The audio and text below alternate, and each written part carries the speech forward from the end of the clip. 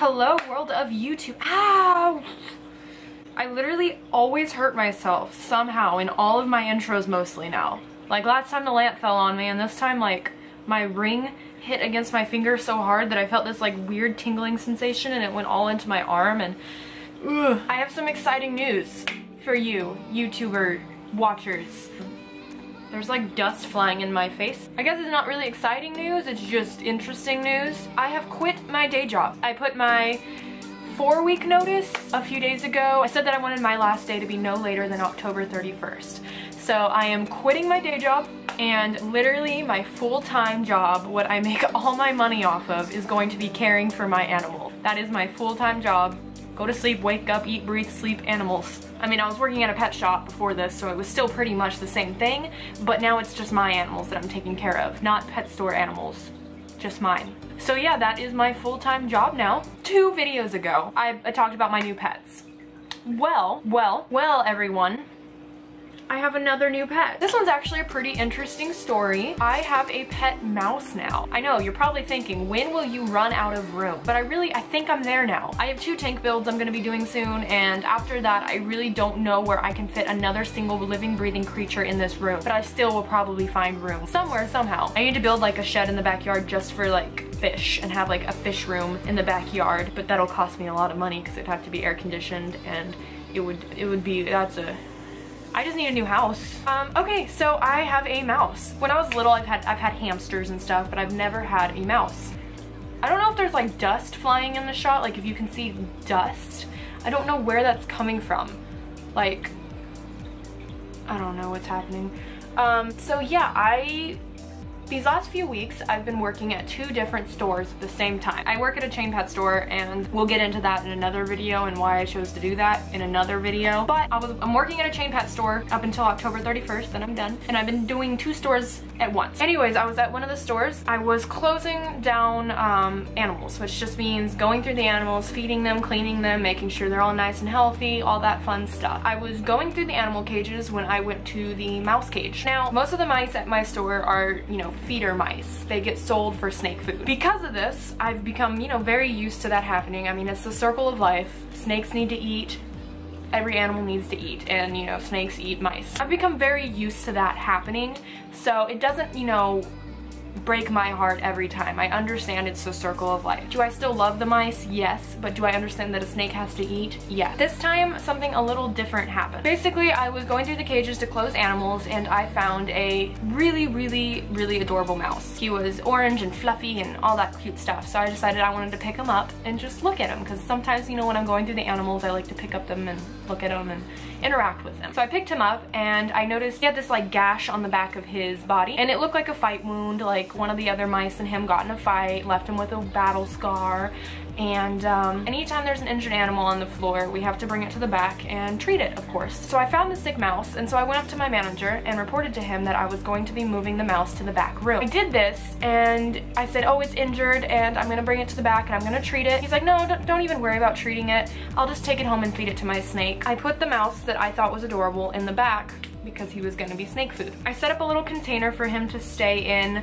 for the night. I don't know why I wanted to like pamper this mouse, but I did. I chopped up carrots for him. I gave him some millet. I was just, you know, like pampering this little mouse giving him everything he could because he was gonna die in a few hours. I was hand feeding him. Like I'd hand feed and you grab the little food and eat it. And then when I went to close the cage, he jumped into my hand and he just like stared at me. And it was the saddest thing ever. When it came to closing time, I was still thinking about that mouse. I was just wondering, you know, oh, that poor thing, I hope he's okay back there. He's probably scared. Like all these things that the mouse is probably just chilling, probably didn't care at all but in my head he was nervous. I rung my manager up at the register for the mouse and you know he paid for it and we started closing and I kept just kind of asking questions and I kept just kind of being like you know that mouse is really nice. That's a nice mouse and my manager was like yep yep okay. And I was like, he's really nice. And so like I went in the back and I picked him up and I brought him out and I'm like, look, look how nice he is, look. And my manager was like,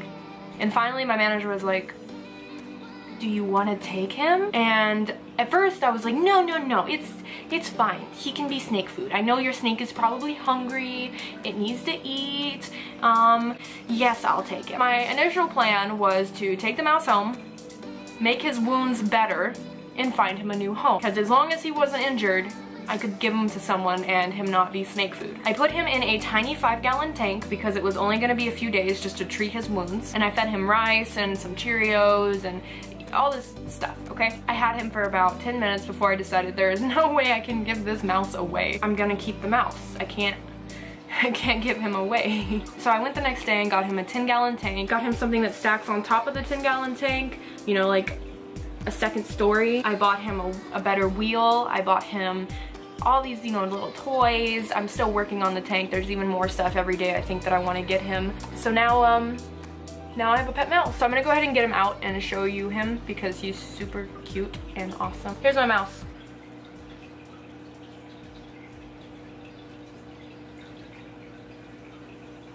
Where are you going? I literally am obsessed with this mouse.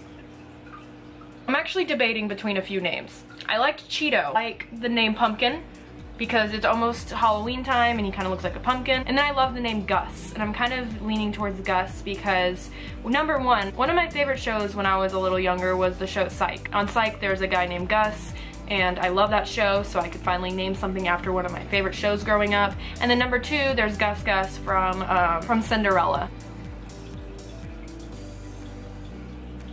Um, I am going to get him a friend, most likely, once his uh, wounds heal, because mice aren't solitary, they're very social creatures. Only problem is that he's a male, so often males fight.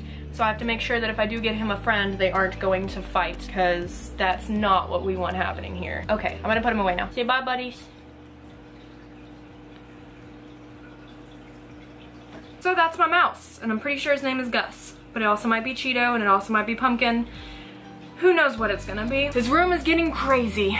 It's getting really packed in here. People are joking that I should just get rid of my bed and sleep on the floor because then I would have more room for animals. I will also show y'all guys how I set up my mouse habitat and how to take care of a mouse, all that fun stuff. That's a whole nother video that will be coming soon. An update on Solara, my hedgehog that I made a video about her being sick a few days ago. She's still the same. I did force feed her last night because she didn't eat and I just get really nervous about that kind of stuff so I wanted to make sure she can eat because hedgehogs really can only go like two days without eating so really wanted to make sure she was getting some food in her. And you know, I do take her out, I do work with her and do little exercises with her feet to make sure she doesn't get completely stiff. But also, by the way, thank y'all guys all so much for all the really nice comments about that situation. Y'all are so sweet and I really, really do appreciate all the support I'm getting. On Monday, I'm getting a brand new tank, brand new fish tank. I'm going to be setting it all up with you guys, showing y'all guys how to build a planted tank. Oh my god.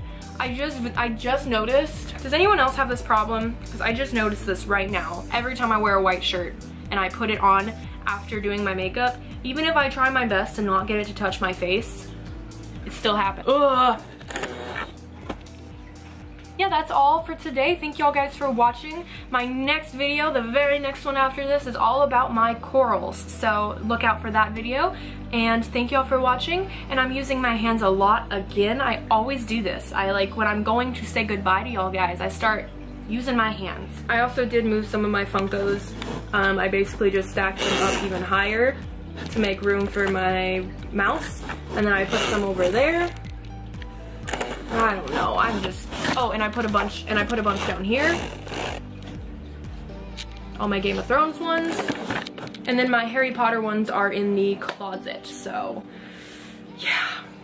Thank y'all for watching. Also, I never got Botox, so this is just my face. For all those people ask. It's just my face. I overline my lips. Limp, limps. I overline my lips, so this isn't Botox. This is just, I go over my cupid's bow. I just go straight over. Don't ask me why, I just like how it looks. I'm sorry that y'all guys don't always. I like that the bottom matches the top. I like it to be symmetrical. Um, my cupid's bow is very deep, so it's like, and so I like it straight over, so whatever. Bye.